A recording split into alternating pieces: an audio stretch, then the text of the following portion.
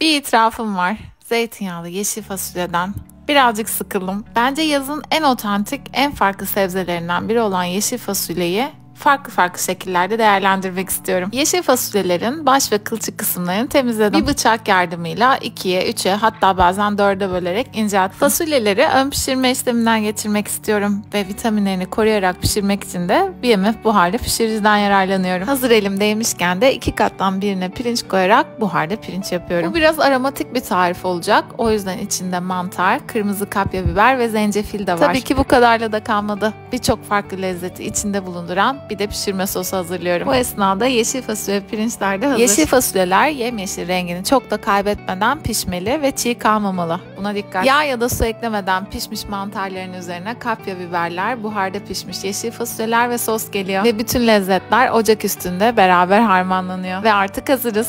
Pirinçle servis.